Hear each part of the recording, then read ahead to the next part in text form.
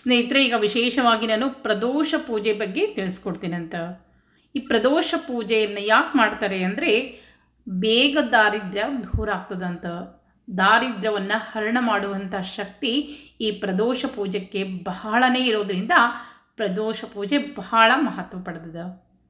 ಅದಕ್ಕಾಗಿ ಈ ಪ್ರದೋಷ ಪೂಜೆ ಅಂದರೆ ಏನು ಹೇಳ್ತೀನಿ? ತ್ರಯೋದಶಿ ತಿಥಿ ಯಾವ ವಾರ ಬರ್ತದ ಅಂದರೆ ಸೋಮವಾರ ಬಂದರೆ ಸೋಮ ಪ್ರದೋಷ, ಮಂಗಳವಾರ ಬಂದರೆ ಭೌಮ ಪ್ರದೋಷ ಅಂಥೇಳಿ ಈ ರೀತಿಯಾಗಿ ನಾಳೆ ಶನಿವಾರ ದಿವಸ ಬರೋದ್ರಿಂದ ಶನಿ ಪ್ರದೋಷ ಪೂಜೆ ಅಂಥೇಳಿ ಮಾಡ್ತಾರೆ. ಒಂದು ತಿಂಗಳಲ್ಲಿ ಎರಡು ತ್ರಯೋದಶಿ ಬರ್ತದೆ. ಒಂದು ಶುಕ್ಲ ಪಕ್ಷದ ತ್ರಯೋದಶಿ, ಇನ್ನೊಂದು ಕೃಷ್ಣ ಪಕ್ಷದ ತ್ರಯೋದಶಿ. ಈ ಎರಡೂ ತ್ರಯೋದಶಿಗಳನ್ನು ಶ್ರದ್ಧಾಭಕ್ತಿಯಿಂದ ಆಚರಣೆ ಮಾಡ್ತಾ ಬಂದಂತೆ ನಿಮ್ಮ ಬಡತನವೆಲ್ಲವೂ ದೂರ ಆಗ್ತದೆ. ಕುಬೇರನು ಸಹ ಶಿವನನ್ನು ಆರಾಧನೆ ಮಾಡಿಯೇ ಧನ ಸಂಪತ್ತನ್ನು ಪಡೆದ ಅಂಥೇಳಿ ನಿಮಗೆ ಗೊತ್ತಿರ್ಬೋದು. ಇನ್ನು ಪ್ರದೋಷ ಸಮಯದಲ್ಲಿ ಅಂತ ಹೇಳ್ತೀವಿ. ಪ್ರದೋಷ ಸಮಯ ಅಂದರೆ ಮುಸ್ಸಂಜೆ, ಮೂರು ಸಂಜೆ ಸಮಯದಲ್ಲಿ. ಅಂದರೆ ಸೂರ್ಯಾಸ್ತಕ್ಕಿಂತ ಮುಂಚೆ ಒಂದು ಅರ್ಧ ಗಂಟೆಯಿಂದ ಒಂದು ಗಂಟೆಗಿಂತ ಮುಂಚೆ ಆ ಸಮಯವನ್ನು ಏನು ಹೇಳ್ತೀವಿ? ಮುಸ್ಸಂಜೆ ಅಂತ ಹೇಳ್ತೀವಿ. ಅಂದರೆ ಐದು ಗಂಟೆ ನಂತರ ಸ್ನಾನವನ್ನು ಮಾಡಿಕೊಂಡು ಮತ್ತೆ ಬೆಳಗ್ಗೆ ನೀವು ಸ್ನಾನ ಮಾಡಿದರೂ ಸಹ ತಲೆ ಮೇಲೆ ಬೆಳಗ್ಗೆ ಸ್ನಾನ ಮಾಡ್ಕೊಂಡು ಬಿಡಬೇಕು ನಂತರ ನಿತ್ಯ ನಿಮ್ಮ ಎಲ್ಲ ಕರ್ಮಗಳನ್ನು ಮುಗಿಸ್ಕೊಂಡು ಆ ದಿನ ಸಾಯಂಕಾಲವರೆಗೂ ಉಪವಾಸವನ್ನು ಮಾಡಿ ಮತ್ತೆ ಸಾಯಂಕಾಲ ಹೆಗಲ್ ಮೇಲೆ ಸ್ನಾನ ಮಾಡಬೇಕು. ಇದನ್ನು ನೆನ್ಪಿಟ್ಕೊಳ್ರಿ. ಹೆಗಲ್ ಮೇಲೆ ಸ್ನಾನವನ್ನು ಮಾಡಿಕೊಂಡು ಮಡಿ ಬಟ್ಟೆಯನ್ನು ಉಟ್ಕೊಂಡು ಶಿವಲಿಂಗವನ್ನು ಮಾಡಿಕೊಂಡು ಪೂಜೆಯನ್ನು ಮಾಡಬೇಕು. ನಿಮ್ಮ ಮನೆಯಲ್ಲಿ ಬೆಳ್ಳಿ ಶಿವಲಿಂಗ ಇದ್ದರೆ ಪೂಜೆ ಮಾಡ್ಬೋದು. ಅಕಸ್ಮಾತ್ ಇಲ್ಲ ಅನ್ನೋದಾದರೆ ನೀವು ಶಿವಲಿಂಗವನ್ನು ಮಾಡಬೇಕು. ಮಣ್ಣಿನಿಂದ ಮಾಡಿ ಶಿವಲಿಂಗವನ್ನು ಪೂಜೆ ಮಾಡೋದ್ರಿಂದ ನಿಮ್ಮ ದಾರಿದ್ರ್ಯವೆಲ್ಲವೂ ಬೇಗ ಪರಿಹಾರ ಆಗ್ತದೆ. ಇನ್ನು ಪ್ರದೋಷ ಪೂಜೆ ನಾಳೆ ತ್ರಯೋದಶಿ ತಿಥಿ ಬಂದಿರೋದ್ರಿಂದ ಶನಿ ಪ್ರದೋಷ ಪೂಜೆ ಅಂತ ಮಾಡ್ತೇವೆ. ಇದಕ್ಕೆ ಏನೇನು ಸಾಮಗ್ರಿಗಳು ಬೇಕು, ಯಾವ ರೀತಿ ತಯಾರಿ ಮಾಡಿಕೊಳ್ಬೇಕು, ಈಗ ನಾನು ಪೂಜಾ ಸಂಕಲ್ಪವನ್ನು ಹೇಳ್ಕೊಡ್ತೀನಿ. ಅದರಂತೆ ಮಾಡಿರಿ. ಇನ್ನು ಪ್ರದೋಷ ಕಾಲದ ಸಮಯವನ್ನು ಹೇಳ್ತೀನಿ. ನಾಳೆ ನೋಟ್ ಮಾಡಿ ಇಟ್ಕೊಳ್ರಿ. ನಾಳೆ ಯಾವ ಸಮಯದಲ್ಲಿ ಪೂಜೆಯನ್ನು ಮಾಡಿದರೆ ಶ್ರೇಷ್ಠ ಅಂತ ಹೇಳಿ. ನಾಳೆ ವಿಶೇಷವಾಗಿ ಸೂರ್ಯೋದಯ ಆಗ್ತಾ ಇರೋದು ಆರು ಗಂಟೆ ಹನ್ನೆರಡು ನಿಮಿಷಕ್ಕೆ ಸೂರ್ಯಾಸ್ತ, ಆರು ಗಂಟೆ ನಲವತ್ತೆರಡು ನಿಮಿಷಕ್ಕೆ ಸೂರ್ಯಾಸ್ತದ. ಈಗ ತ್ರಯೋದಶಿ ತಿಥಿ ಪೂಜಾ ಸಮಯವನ್ನು ಹೇಳ್ತೀನಿ. ಆರು ಗಂಟೆ ಮೂವತ್ತೆರಡು ನಿಮಿಷದಿಂದ ಎಂಟು ಗಂಟೆ ನಲವತ್ತು ನಿಮಿಷದವರೆಗೆ ವಿಶೇಷವಾಗಿ ನೀವು ಪ್ರದೋಷ ಪೂಜೆಯನ್ನು ಮಾಡ್ಬೋದು. ಈ ಸಮಯದಲ್ಲಿ ಪೂಜೆಯನ್ನು ಮಾಡಿ ಶನಿವಾರ ದಿವಸ ಶನಿ ಪ್ರದೋಷ ಪೂಜೆಯನ್ನು ಮಾಡೋದ್ರಿಂದ ಸ್ಪಷ್ಟವಾಗಿ ಹೇಳ್ತಾರೆ, ಋಣದಾರಿದ್ರ ಕಷ್ಟಗಳನ್ನು ಪರಿಹರಿಸ್ತಾನಂತೆ. ನೀವು ಅತಿಯಾಗಿ ಸಾಲವನ್ನು ಮಾಡಿಕೊಂಡಿದ್ರೆ, ಕಷ್ಟಗಳಿಂದ ನರಳ್ತಾ ಇದ್ದರೆ ಈ ಒಂದು ನಾಳೆ ಮಾಡುವಂಥ ಒಂದು ಶನಿ ಪ್ರದೋಷ ಪೂಜೆ ನಿಮ್ಮ ಎಷ್ಟೋ ಸಂಕಷ್ಟಗಳನ್ನ ದೂರ ಮಾಡ್ತದಂತ. ಇನ್ನು ಏನೇನು ಸಾಮಗ್ರಿಗಳನ್ನ ರೆಡಿ ಮಾಡ್ಕೊಳ್ಬೇಕು ಹೇಳ್ತೇನೆ ಕೇಳ್ರಿ. ಶಿವನೊಂದು ಫೋಟೋ ಶಿವಪಾರ್ವತಿ ಇರೋ ಫೋಟೋ ಇದ್ದರೆ ಭಾಳನೇ ಒಳ್ಳೆಯದು. ಮನೆಯಲ್ಲಿ ಶಿವಪಾರ್ತಿ, ಶಿವಪಾರ್ವತಿ ಫೋಟೋ ಇದ್ದರೆ ದಾಂಪತ್ಯ ಬಹಳನೇ ಸುಂದರವಾಗಿರ್ತದೆ. ನಿತ್ಯವೂ ಶಿವಪಾರ್ವತಿಯರ ದರ್ಶನ ಮಾಡೋದು ಒಳ್ಳೆಯದು ಅಂಥೇಳಿ ಒಂದು ಶಿವಪಾರ್ವತಿಯರ ಫೋಟೋ ಇಟ್ಕೊಳ್ಬೇಕು. ಮತ್ತು ಶಿವಲಿಂಗ ಇದ್ದರೆ ನಿಮ್ಮ ಮನೆಯಲ್ಲಿ ಶಿವಲಿಂಗವನ್ನು ಇಟ್ಕೊಂಡು ಪೂಜೆಯನ್ನು ಮಾಡಬೇಕಾಗ್ತದೆ. ಪಂಚಾಮೃತಕ್ಕೆ ಪಂಚಾಮೃತ ಸಾಮಗ್ರಿಗಳನ್ನೆಲ್ಲ ಇಟ್ಕೊಳ್ಬೇಕು. ಈಗಾಗಲೇ ತಿಳಿಸ್ಕೊಟ್ಟೇನೆ ಏನೇನಂತ ಹೇಳಿ. ಜೊತೆಗೆ ಗೆಜ್ಜೆ ವಸ್ತ್ರಗಳನ್ನ ಇಟ್ಕೊಳ್ಬೇಕು. ಶಿವನಿಗೆ ಬಿಳಿ ಗೆಜ್ಜೆ, ಬಿಳಿ ಗಂಧವನ್ನು ಹಚ್ಚಿದಂಥ ಗೆಜ್ಜೆ ವಸ್ತ್ರವನ್ನು ಇಟ್ಕೊಳ್ಬೇಕು. ಹದಿನಾರು ಪ್ಲಸ್ ಎರಡು, ಶಿವನಿಗೆ ಶಿವಲಿಂಗಕ್ಕೆ ಏರಿಸಲಿಕ್ಕೆ. ನಾವು ನೂ, ನೂರ ಎಂಟು ಗೆಜ್ಜೆ ವಸ್ತ್ರವನ್ನು ಏರಿಸ್ತೇವೆ. ನಿಮಗೆ ಅಷ್ಟು ಏರಿಸ್ಲಿಕ್ಕೆ ಆಗಲಿಲ್ಲ ಅಂದರೆ ಹದಿನಾರು ಪ್ಲಸ್ ಎರಡಾದರೂ ಗೆಜ್ಜೆ ವಸ್ತ್ರವನ್ನು ಏರಿಸ್ಬೋದು. ಇನ್ನು ಮೊದಲು ಪಂಚಾಮೃತ ಅಭಿಷೇಕ ಆದಾಗ ಒಂದು ಗೆಜ್ಜೆ ವಸ್ತ್ರ ಏರಿಸಬೇಕಾಗ್ತದೆ. ನಂತರ ಪೂಜೆ ಮಾಡಬೇಕಾದ್ರೆ ಪಂಚಾಮೃತ ಅಭಿಷೇಕ ನಂತರ ಅದಾದಮೇಲೆ ಶುದ್ಧೋದಕ ಸ್ನಾನ ಆದಮೇಲೆ ಮತ್ತೊಂದು ಗೆಜ್ಜೆ ವಸ್ತ್ರವನ್ನು ಏರಿಸಬೇಕಾಗ್ತದೆ. ಆ ರೀತಿಯಾಗಿ ಎರಡು ಗೆಜ್ಜೆ ವಸ್ತ್ರವನ್ನು ಇಟ್ಕೊಳ್ಬೇಕು. ಮೊದಲು ಗಣಪತಿ ಪೂಜೆ ಇಲ್ಲದೆ ಯಾವುದೇ ಪೂಜೆ ಮಾಡಲಿಕ್ಕೆ ಬರೋದಿಲ್ಲ ಗಣಪತಿ ಪೂಜೆಯನ್ನು ಮಾಡಬೇಕಾಗ್ತದೆ. ಗಣಪತಿ ವಿಗ್ರಹವನ್ನು ಇಟ್ಕೊಂಡು ಅಥವಾ ಒಂದು ಅಡಿಕೆ ಬೆಟ್ಟವನ್ನು ಇಟ್ಕೊಂಡು ಗಣಪತಿ ಪೂಜೆಯನ್ನು ಮಾಡ್ಕೊಳ್ಬೇಕಾಗ್ತದೆ. ಅದಕ್ಕಾಗಿ ಗಣಪತಿಗೆ ಗೆಜ್ಜೆ ವಸ್ತ್ರ ಇಪ್ಪತ್ತೊಂದು ಪ್ಲಸ್ ಎರಡು. ಇನ್ನು ಬಿಲ್ಪತ್ರೆಯನ್ನು ಬೇಕು. ಶಿವನಿಗೆ ಏರಿಸಲಿಕ್ಕೆ ಬಿಲ್ಪತ್ರೆಯನ್ನು ಇಟ್ಕೊಳ್ಬೇಕು. ಬಿಳಿ ಹೂಗಳನ್ನು ಇಟ್ಕೊಳ್ಬೇಕು. ಮಲ್ಲಿಗೆ ಹೂಗಳನ್ನು ಇಟ್ಕೊಳ್ಬೇಕು. ತುಂಬೆ ಹೂಗಳನ್ನು ಇಟ್ಕೊಳ್ಬೇಕು. ಜೊತೆಗೆ ಪೂಜೆಗೆ ಕಲಶವನ್ನು ತುಂಬಿಟ್ಕೊಳ್ಬೇಕು. ಸಂಕಲ್ಪಕ್ಕೆ ನೀರಿಟ್ಕೊಳ್ಬೇಕು. ಆರತಿಯನ್ನು ಹಾಕಿಟ್ಕೊಂಡಿರಬೇಕು. ತಿಲ ಅಕ್ಷತೆಗಳನ್ನು ಇಟ್ಕೊಳ್ಬೇಕು. ಈಗಾಗಲೇ ನಾನು ತಿಲ ಅಕ್ಷತೆಯನ್ನು ಹೆಂಗೆ ಮಾಡ್ಕೊಳ್ಬೇಕು ಅಂತ ಶಿವನ ಪೂಜೆಗೆ ತಿಲಾಕ್ಷತೆ ಬಹಳನೇ ಮಹತ್ವ ಇರ್ತದ. ತಿಲಾಕ್ಷತೆಗಳನ್ನ ಇಟ್ಕೊಳ್ಬೇಕು. ಇನ್ನು ನಿಮಗೆ ಕಮಲ್ ಹೂ ಏನಾದರೂ ಸಿಗೋ ಹಾಗಿದ್ರೆ ಕಮಲ್ ಹೂ ಕೂಡ ಬಹಳನೇ ಶ್ರೇಷ್ಠ ಅಂತ ಹೇಳ್ತಾರೆ. ಕಮಲ್ ಹೂ ಕೂಡ ಇಟ್ಕೊಳ್ಬೋದು. ಎಲ್ಲವನ್ನ ರೆಡಿ ಮಾಡಿ ಇಟ್ಕೊಂಡು ಆಸನವನ್ನು ಹಾಕ್ಕೊಂಡು ಪೂಜೆಗೆ ಕುಳಿತುಕೊಳ್ಬೇಕು. ಆದಷ್ಟು ಆ ದಿನ ಹೆಚ್ಚಿಗೆ ಯಾರ ಜೊತೆ ಮಾತಾಡಬಾರ್ದು ಮೌನ ವ್ರತವನ್ನು ಆಚರಣೆ ಮಾಡೋದು ಬಹಳ ಶ್ರೇಷ್ಠ ಅಂತ ಹೇಳ್ತಾರೆ. ಅದು ಸಾಧ್ಯ ಆಗದೇ ಇದ್ದರೆ ಎಷ್ಟು ಸಾಧ್ಯನೋ ಅಷ್ಟೇ ಮಾತಾಡಬೇಕು. ಆ ದಿನ ಹೆಚ್ಚಿಗೆ ಯಾರ್ದೋ ಜೊತೆ ಜಗಳಾಡೋದಾಗಲಿ ಗಂಡನ ಜೊತೆ ಜಗಳಾಡೋದಾಗಲಿ ಮಕ್ಕಳಿಗೆ ಬೈಯೋದಾಗಲಿ ಈ ರೀತಿ ಮಾಡಬಾರ್ದು. ಆದಷ್ಟು ಎಷ್ಟು ಸೌಮ್ಯವನ್ನು ಪಾಲನೆ ಮಾಡಬೇಕು ಅಷ್ಟು ಮಾಡ್ಕೊಳ್ಬೇಕು. ಇನ್ನು ಆ ದಿನ ಉಪವಾಸ ಮಾಡಬೇಕಾಗ್ತದೆ. ಹಾಲು, ಹಣ್ಣು ತೆಗೆದುಕೊಂಡು ಮಾಡ್ಬೋದು, ಇಲ್ಲ ಟೀ, ಕಾಫಿ ಕುಡಿದು ಮಾಡ್ಬೋದು. ಸಾಯಂಕಾಲವರೆಗೂ ಏನನ್ನು ತೆಗೆದುಕೊಳ್ಳುವಂತಿಲ್ಲ. ನಂತರ ನೀವು ಅಡುಗೆ, ಅನ್ನ, ಪಾಯಸ ಎಲ್ಲ ಅಡುಗೆ ನೈವೇದ್ಯ ಮಾಡಿ ಸಾಯಂಕಾಲ ಸಮಯದಲ್ಲಿ ನಾ ಹೇಳಿದೆಲ್ಲ ಸಾಯಮ, ಸಮಯವನ್ನು ಕೊಟ್ಬಿಟ್ಟೀನಿ. ಆ ಸಮಯದಲ್ಲಿ ಅಡುಗೆ ನೈವೇದ್ಯವ, ಪೂಜೆ ಎಲ್ಲ ಮುಗಿಸಿ ಅಡುಗೆ ನೈವೇದ್ಯವನ್ನು ಮಾಡಿ ನಂತರ ಊಟವನ್ನು ಮಾಡ್ಬೋದು. ಇನ್ನೂ ಕೆಲವರು ಆಚರಣೆ ಮಾಡುವಂಥ ಪದ್ಧತಿ ಏನಂದ್ರೆ ಬೆಳಗ್ಗೆಯಿಂದ ಸಾಯಂಕಾಲವರೆಗೂ ಉಪವಾಸ ಮಾಡಿ, ಪೂಜೆ ಎಲ್ಲ ಮಾಡಿ ಕೇವಲ ಪ್ರಸಾದ, ಅಂದರೆ ಗೋಧಿ ಹಿಟ್ಟು ಹುರಿದು ಉಂಡೆಯನ್ನು ಮಾಡಿ ಮೂರು ಭಾಗ ಮಾಡಿ ಪ್ರಸಾದವನ್ನು ಮಾಡ್ತಾರಲ್ಲ ಅದೇ ರೀತಿಯಾಗಿ ಈಗಲೂ ಕೂಡ ಪ್ರಸಾದವನ್ನು ಮಾಡಿ ಕೇವಲ ಪ್ರಸಾದ ಭಕ್ಷಣೆಯನ್ನು ಮಾಡೋ, ಮಾಡ್ತಾರೆ. ಹಾಗೂ ಕೂಡ ಆಚರಣೆ ಮಾಡ್ಬೋದು. ಅಂದರೆ ಊಟವನ್ನು ಮಾಡದೆ ಕೇವಲ ದೇವರಿಗೆ ನೈವೇದ್ಯ ಉಂಡೆಯನ್ನು ನೈವೇದ್ಯ ಮಾಡಿ, ಆ ನೈವೇದ್ಯದ ಉಂಡೆಯನ್ನು ಮಾತ್ರ ಸ್ವೀಕಾರ ಮಾಡಿ ಇಡೀ ದಿವಸ ಉಪವಾಸವನ್ನು ಮಾಡುವಂಥ ಪದ್ಧತಿ ಎರಡೂ ರೀತಿಯಲ್ಲೂ ಆಚರಣೆ ಮಾಡಬಹುದು ನಿಮಗೆ ಉಪವಾಸ ಮಾಡಲಿಕ್ಕೆ ಆಗ್ತಿದ್ರೆ ಇಡೀ ದಿವಸ ಉಪವಾಸ ಮಾಡಿ ಕೇವಲ ಈಶ್ವರನಿಗೆ ನೈವೇದ್ಯ ತೋರಿಸಿದ ಉಂಡೆಯನ್ನು ತಿಂದು ಉಪವಾಸ ಕೂಡ ಮಾಡ್ಬೋದು.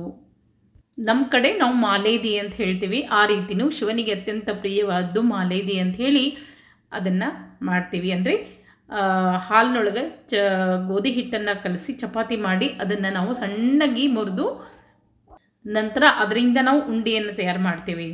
ಅದನ್ನು ಕೂಡ ಶಿವನಿಗೆ ನೈವೇದ್ಯ ಮಾಡಿ ಕೇವಲ ಅದನ್ನಷ್ಟೇ ತಿಂದು ಆ ದಿನ ಆಚರಣೆ ಮಾಡ್ತೀವಿ. ಇದು ರೀತಿ ಒಂದು ಪದ್ಧತಿ ಅದ ನಿಮಗೆ ಯಾವ್ದು ಸರಿ ಅನ್ನಿಸ್ತು ಅದನ್ನು ಮಾಡ್ಬೋದು.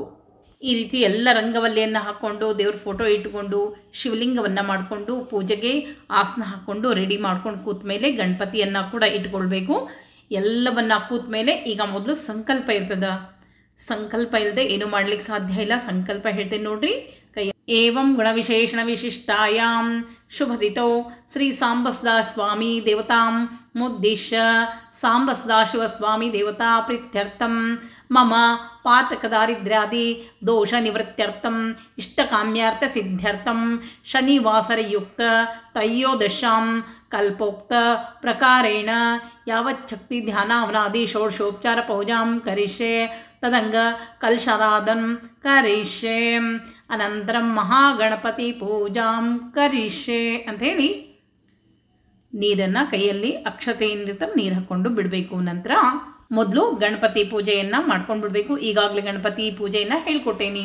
ಆ ಗಣಪತಿ ಪೂಜೆ ಆದಮೇಲೆ ಶಿವನಿಗೆ ಮೊದಲು ಧ್ಯಾನವನ್ನು ಮಾಡಬೇಕು. ಶಾಂತಂ ಪದ್ಮಾಸನಸ್ಥಂ ಶಿಶಿಧರಮುಕ್ತಂ ಪಂಚವಕ್ತ್ರಂ ತ್ರಿನೇತ್ರಂ ಶೂಲಂ ವಜ್ರಂ ಚ ಖಡ್ಗಂ ಪರಶುಮೈದಂ ದಕ್ಷಭಾಗೇ ವಹಂತಂ ನಾಗಂ ಪಾಶಂ ಚ ಘಂಟಾಂ ಡಮರುಗಸಹಿತಂ ಸಾಂಕುಶಂ ವಾಮಭಾಗೆ ನಾನಾಲಂಕಾರಯುಕ್ತಂ ಸ್ಫಟಿಕಮಣಿಮಂ ಪಾರ್ವತೀಶಂ ನಮಾಮಿ ಧ್ಯಾನಂ ಸಮರ್ಪ್ಯಾಮಿ ಅಂಥೇಳಿ ಈಗ ಪಾರ್ವತಿ ಧ್ಯಾನವನ್ನು ಕೂಡ ಮಾಡ್ಕೊಳ್ಬೇಕು. ಸರ್ವಮಂಗಲ ಮಾಂಗಲ್ಯೆ ಶಿವೆ ಸರ್ವಾರ್ಥ ಸಾಧಿಕೆ. शृण्णे त्र्यम्बके गौरी नारायणे नमोऽस्तु ते। नमोऽस्तुते श्रीपार्वत्यम्बिकान्नमः ध्यानं समर्पयामि। आगच्छ देवदेवीश तेजोराशि जगत्पते। क्रियामणा मया पूजा ग्रहाण सुसुत्तम श्रीसाम्बसुदा शिवताभ्यः आह्वानार्थे अक्षतां समर्पयामि। नानारत्नसमायुक्तं कार्तस्रविभूषितम् आसनं देवदेवीश प्रत्यर्थं प्रतिहताम् ಪ್ರತಿಗೃಹತಾಂ ಶ್ರೀ ಸಾಂಬಸದಾಶಿವತಾಭ್ಯ ನಮಃ ಆಸನಾರ್ಥೆ ಅಕ್ಷತಾಂ ಸಮರ್ಪಯಾಮಿ ಆಹ್ವಾನಕ್ಕೆ ಆಸನಕ್ಕೆ ಅಕ್ಷತೆಯನ್ನು ಎರಡು ಸಲ ಹಾಕಬೇಕು ಪಾದ್ಯಂ ಗ್ರಹಾಣ ದೇವೇಶ ಸರ್ವಕ್ಷೇಮಕ್ರ ಪ್ರಭೋ ಭಕ್ತ್ಯಾ ಸಮರ್ಪಿತಂ ದೇವ ಲೋಕನಾಥ ನಮೋಸ್ತುತೆ ಶ್ರೀ ಸಾಂಬಸ್ದಾಶಿವಯುತಾಭ್ಯ ನಮಃ ಪಾದಯೋ ಪಾದ್ಯಂ ಸಮರ್ಪಯಾಮಿ ನಂತರ ಹಸ್ತಯೋ ಅರ್ಘ್ಯಂ ಸಮರ್ಪಯಾಮಿ ಮುಖೆ ಆಚಮನೀಯಂ ಸಮರ್ಪಯಾಮಿ ರತ್ನಪಾತ್ರೆ ವಿನಿಕ್ಷಿಪ್ಯ ಗುಡಮದ್ವಾದ್ಯ ಸಂಯುತಂ ಮಧುಪರ್ಕಂ ಗ್ರಹಾಣೇಶ ಸರ್ವಲೋಕ ನಮಸ್ಕೃತ ಮಧುಪರ್ಕಂ ಸಮರ್ಪಯಾಮಿ ಈಗ ಪಂಚಾಮೃತ ಸ್ನಾನವನ್ನು ಮಾಡಿಸ್ಬೇಕು ಎಲ್ಲವನ್ನ ಸೇರಿಸಿ ಇಟ್ಕೊಂಡು ಬಿಡಬೇಕು। ಅದನ್ನೇ ನೀವು ಅಕಸ್ಮಾತ್ ನೀವು ಮಣ್ಣಿನ ಲಿಂಗವನ್ನು ಮಾಡಿದರೆ ಪ್ರೋಕ್ಷಣೆ, ಒಂದು ಹೂವಿನಿಂದ ಪ್ರೋಕ್ಷಣೆಯನ್ನು ಮಾಡಬೇಕು। ಇಲ್ಲದಿದ್ದರೆ ಪಂಚಾಮೃತ ಅಭಿಷೇಕವನ್ನು ಹಾಕಿ ದಯವಿಟ್ಟು ಬರೀ ಫೋಟೋ ಇಟ್ಕೊಂಡು ಪೂಜೆ ಮಾಡಿದರೆ ನಡೀತದ ಅಂತ ಹೇಳಿ ನನಗೆ ಕಮೆಂಟ್ಸನ್ನು ಹಾಕಬೇಡ್ರಿ। ಶಿವಲಿಂಗ ಇಲ್ಲದೆ ಪೂಜೆಯನ್ನು ಮಾಡಲಿಕ್ಕೆ ಸಾಧ್ಯ ಇಲ್ಲ ಮಾಡಲಿಕ್ಕೆ ಹೋಗಬೇಡ್ರಿ ದಧಿ ಕ್ಷೀರ ಘೃತಂಚೈವ ಮಧು ಶರ್ಕರಯಾನ್ವಿತಂ ಪಂಚಾಮೃತಂ ಸುರಾದೇಶ ಗ್ರಹಾಣ ಮುನಿ ಸತ್ತಮ ಪಂಚಾಮೃತ ಸ್ನಾನಂ ಸಮರ್ಪಯಾಮಿ ಏಲಾಲವಂಗ ಕರ್ಪೂರ ಶ್ರೀಗಂಧೇನ ಸಮನ್ವಿತಂ ಸ್ವರ್ಣಪಾತ್ರಸ್ಥಿತಂ ತೋಯಂ ಸ್ನಾನಾತಂ ಪ್ರತಿಹತಾಂ ಶ್ರೀ ಸಾಂಬಸಾಶೋತಾಪಿ ನಮಃ ಪಂಚಾಮೃತ ಈಗ ಗೆಜ್ಜೆ ವಸ್ತ್ರವನ್ನು ಏರಿಸಬೇಕು. ಪಂಚಾಮೃತ ಆದಮೇಲೆ ಪಂಚಾಮೃತ ಗೆಜ್ಜೆ ವಸ್ತ್ರ ಏರಿಸಿ, ಗಂಧ ಏರಿಸಿ ಆರತಿ ಮಾಡಿ ನಂತರ ಶುದ್ಧೋದಕ ಸ್ನಾನವನ್ನು ಮಾಡಬೇಕು. ಅವಾಗ ಎರಡನೇ ಗೆಜ್ಜೆ ವಸ್ತ್ರವನ್ನು ಏರಿಸಬೇಕು. ಈ ರೀತಿಯಾಗಿ ಗೆಜ್ಜೆ ವಸ್ತ್ರವನ್ನು ಏರಿಸಿ, ಆಭರಣಂ ಸಮರ್ಪಯಾಮಿ ಗಂಧಂ ಸಮರ್ಪಯಾಮಿ, ತಿಲಾಕ್ಷತಂ ಸಮರ್ಪಯಾಮಿ, ನಂತರ ನಾನಾ ಪರಿಮಳ ಪತ್ರ ಪುಷ್ಪಾಣಿಂ ಸಮರ್ಪಯಾಮಿ ಅಂಥೇಳಿ ಗಂಧ ಹಚ್ಚಬೇಕು. ಮತ್ತು ಶಿವ ಪಾರ್ವತಿಯರು ಸನ್ನಿಧಾನ ಯಾವಾಗಲೂ ಶಿವನಲ್ಲಿ, ಪಾರ್ವತಿ ಸನ್ನಿಧಾನ ಇರ್ತಾ ಅಂತ ಹೇಳ್ಕೊಂಡು ಅಲ್ಲಿ ಶಿವಗೆ ಅವನಿಗೆ ಅರಿಶಿನ ಕುಂಕುಮ, ಹರಿದ್ ಹರಿದ್ರ ಅಂತ ಹೇಳ್ತೀವಿ. ಅಂದರೆ ಅರಿಶಿನ ಅರಿಶಿನ ಕುಂಕುಮ, ಅಕ್ಷತೆ ಎಲ್ಲವನ್ನು ಏರಿಸಬೇಕು. ನಾನಾ ಥರದ ಪತ್ರ, ಪುಷ್ಪಗಳನ್ನೆಲ್ಲ ಏರಿಸಬೇಕು. ಶಿವ ಅಷ್ಟೋತ್ತರವನ್ನು ಹೇಳ್ತಾ ತಿಲಾ ಅಕ್ಷತೆಯನ್ನು ಏರಿಸಬೇಕು. ಶಿವ ಅಷ್ಟೋತ್ತರವನ್ನು ವಿಡಿಯೋ ಕೆಳಗೆ ಹಾಕಿರ್ತೀನಿ. ಕೇವಲ ಶಿವನಿಗೆ ಮಾತ್ರ ಅಲ್ಲ ನಂತರ ಉಮಾ ಪೂಜೆಯನ್ನು ಮಾಡಬೇಕು. ಉಮಾ ಪೂಜೆ ಅಂತಂದರೆ, ಉಮಾ ಹೆಸರು ಹೇಳ್ತೀನಿ, ಆ ಹೆಸರನ್ನು ಹೇಳ್ತಾ ದೇವಿಗೂ ಕೂಡ ಹೂವನ್ನು, ಕರಿಕೆಯನ್ನು ಏರಿಸಬೇಕು. ಅಂದರೆ ಶಿವನಿಗೆ ಏರಿಸಿದರೆ ಸಾಕು, ದೇವಿಗೆ ಮುಟ್ಟುತ್ತದೆ. ಉಮಾ ಏ ನಮಃ ಗೌರೇ ನಮಃ, ಬಾಲಾಂಬಿಕಾಯೇ ನಮಃ, ಪ್ರಾಪ್ತೈ ನಮಃ, ಓಂ ಈಶ್ವರೇ ನಮಃ, ಓಂ ಭವಾನ್ ನಮಃ, ಭೈರವೇ ನಮಃ, ಉಮಾ ಪೂಜಾಂ ಸಮರ್ಪಯಾಮಿ. ಇದಾದಮೇಲೆ ನಂದಿಗೂ ಕೂಡ ಹೂವನ್ನು ಏರಿಸಬೇಕು. ನಂದಿನಿ ನಮಃ ಭೃಂಗೀಶ್ವರಾಯ ನಮಃ, ಗಣೇಶಾಯ ನಮಃ, ಸ್ಕಂದಾಯ ನಮಃ ಸಪ್ತ ಮಾತೃಭ್ಯೋ ನಮಃ ಸಪ್ತ ಪ್ರಮತಗಣೋಭ್ಯೋ ನಮಃ ನಾನಾ ವಿಧ ಪತ್ರಪುಷ್ಪಾಣಿ ಸಮರ್ಪಿಯಾಮಿ ಅಂತ ಎಲ್ಲವನ್ನ ನೆನೆಸ್ಕೊಂಡು ಪತ್ರಪುಷ್ಪಾಣಿಯನ್ನು ಹಾಕಬೇಕು. ನಂತರ ಶಿವನ ಕೈಯಲ್ಲಿರುವಂಥ ಆಯುಧಕ್ಕೂ ಕೂಡ ಪೂಜೆಯನ್ನು ಮಾಡಬೇಕು. ಪಾಶುಪತಾಯ ನಮಃ, ಖಡ್ಗಾಯ ನಮಃ, ವಜ್ರಾಯ ನಮಃ, ಶಕ್ತಯೇ ನಮಃ, ದಂಡಾಯ ನಮಃ, ಪಾಶಾಯ ನಮಃ, ಅಂಕುಶಾಯ ನಮಃ ಡಿಂಡಿಮಾಯ ನಮಃ, ಚಕ್ರಾಯ ನಮಃ ಆಯುಧ ಪೂಜಾಂ ಸಮರ್ಪಯಾಮಿ ಅಂತೇಳಿ ಅಲ್ಲಿ ಅಕ್ಷತೆಯನ್ನು ಇರಿಸ್ತಾ ಈ ಹೆಸರು ಕೇಳಿಕೊಂಡು ಅಕ್ಷತೆ ಹೇಳಿಸ್ತಾ ಹೋಗಬೇಕು. ಇನ್ನು ಅವನ ಅಷ್ಟೂ ಪರಿವಾರಕ್ಕೂ ನಮಸ್ಕಾರವನ್ನು ಮಾಡಬೇಕಾಗ್ತದ. ನಾ ಹೆಸರು ಹೇಳ್ತಾ ಹೋಗ್ತೀನಿ. ನೀವು ನಮಸ್ಕಾರ ಮಾಡಿದ್ರಿ ಸಾಕು. ಓಂ ಗಣಪತಿ ನಮಃ, ಷಣ್ಮುಖಾಯ ನಮಃ, ನಂದೀಶ್ವರಾಯ ನಮಃ, ಭೃಂಗಿರಟಾಯ ನಮಃ ಬ್ರಹ್ಮಾದಿ ಸಪ್ತಮಾತೃಭ್ಯೋ ನಮಃ, ಏಕಾದಶರುದ್ರಭ್ಯ ನಮಃ, ದ್ವಾದಶಾದಿತ್ಯಭ್ಯ ನಮಃ, ಮಹಾಪಿತೃಭ್ಯ ನಮಃ, ಮಹಾಪಾತಾಳಾದಿ, ಚತುರ್ದಶ ಭುವನಭ್ಯೋ ನಮಃ, ಇಂದ್ರಾದ್ಯಷ್ಟ ಅಷ್ಟದಿಕ್ಪಾಲಭ್ಯ ನಮಃ ತ್ರಯತ್ರಿಂಶತ್ ಕೋಟಿ ದೇವತಾಭ್ಯ ನಮಃ ಪ್ರಭವಾದಿ ಷಷ್ಠೇ ಸಂವತ್ಸರೇಭ್ಯ ನಮಃ ಚೈತ್ರಾದಿ ದ್ವಾದಶೇ ಮಾಸಭ್ಯೋ ನಮಃ ಇತಿ ಕಲ್ಪೋಕ್ತ ಪರಿವಾರ ದೇವತಾ ಪೂಜಾಂ ಸಮರ್ಪಯಾಮಿ ಇನ್ನು ಶಿವಪಂಚಾಕ್ಷರ ಒಂದೊಂದು ಹೆಸರಿನಿಂದ ಭಗವಂತನಿಗೆ ಹೂಗಳನ್ನು ಇರಿಸ್ತಾ ಹೋಗಬೇಕು ಓಂಕಾರ ಮಂತ್ರ ಸಂಯುಕ್ತಂ ನಿತ್ಯಂ ಧ್ಯಾಯಂತಿ ಯೋಗಿನಃ ಕಾಮದಂ ಮೋಕ್ಷಂ ತಸ್ಮೈ ನಕಾರಾಯ ನಮಃ ಶಿವಾಯ ಮಹಾದೇವಂ ಮಹಾತ್ಮಾನಂ ಮಹಾಪಾತಕನಾಶನಂ ಮಹಾಪಾಪಂ ಹರಂ ವಂದೇ ಮಕಾರಾಯ ನಮಃ ಶಿವಾಯ ಶಿವಶಾಂತಂ ಜಗನ್ನಾಥಂ ಲೋಕಾನುಗ್ರಹಕಾರಣಂ ಶಿವಮೇಕಂ ಪರಂ ವಂದೇ ಶಿಖಾರಾಯ ನಮಃ ಶಿವಾಯ ವಾಹನಂ ಋಷಭಯಸ್ಯ ವಾಸುಕಿ ಕಂಠಭೂಷಣಂ ವಾಮೇ ಶಕ್ತಿಧರಂ ವಂದೇ ವಕಾರಾಯ ನಮಃ ಶಿವಾಯ ಯತ್ರ ಕುತ್ರ ಸಂದೇವಂ ಸರ್ವವ್ಯಾಪೀನೇಶ್ವರಂ ಯಲ್ಲಿಂಗಂ ಪೂಜೆ ನಿತ್ಯಂ ಯಕಾರಾಯ ನಮಃ ಶಿವಾಯ ಇತಿ ಶ್ರೀ ಶಿವಪಂಚ ಅಕ್ಷರ ಪೂಜಾಂ ಸಮರ್ಪಯಾಮಿ ಇದಾದಮೇಲೆ ಶಿವಷ್ಟೋತ್ರವನ್ನು ಹೇಳ್ತಾ ಹೂಗಳನ್ನು ಮತ್ತು ತಿಲಾಕ್ಷತೆಗಳನ್ನ ಎಲ್ಲ ಇರಿಸಿ ಎಲ್ಲ ಆದಮೇಲೆ ಧೂಪ, ದೀಪ, ನೈವೇದ್ಯ ಇರ್ತದೆ. ನೈವೇದ್ಯ ಆದಮೇಲೆ ತಾಂಬೂಲ, ದಕ್ಷಿಣೆ, ಹಣ್ಣುಗಳನ್ನು ನೈವೇದ್ಯ ತೋರಿಸ್ಬೇಕು ಮತ್ತು ತೆಂಗಿನಕಾಯನ್ನು ಒಡೆದು ನೈವೇದ್ಯ ತೋರಿಸ್ಬೇಕು. ಇದಾದಮೇಲೆ ಆರತಿಯನ್ನು ಮಾಡಬೇಕು. ಮಂತ್ರ ಮಂತ್ರಪುಷ್ಪವನ್ನು ಹೇಳಬೇಕು. ಮಂತ್ರಪುಷ್ಪವನ್ನು ಹೇಳಿ ಪ್ರದಕ್ಷಿಣ ನಮಸ್ಕಾರವನ್ನು ಹಾಕಿ ನಂತರ ಶಿವನಿಗೆ ವಿಶೇಷ ನಾಮಗಳಿಂದ ಅರ್ಘ್ಯವನ್ನು ಕೊಡಬೇಕು. ಒಂದು ಅಷ್ಟೇ ಅಲ್ಲದೆ ವಿಶೇಷ ಸ್ತೋತ್ರ ಕೂಡ ಅದ. ಅದನ್ನು ಕಥೆ ಸಹಿತ ಮುಂದಿನ ವಿಡಿಯೋದಲ್ಲಿ ಖಂಡಿತವಾಗಿಯೂ ತಿಳಿಸ್ಕೊಡ್ತೇನೆ ಅಂತ. ಮುಂದೆ, ಮತ್ತೆ ಮುಂದಿನ ವಿಡಿಯೋ ಸಿಗ್ತೀನಿ. ನಮಸ್ಕಾರ.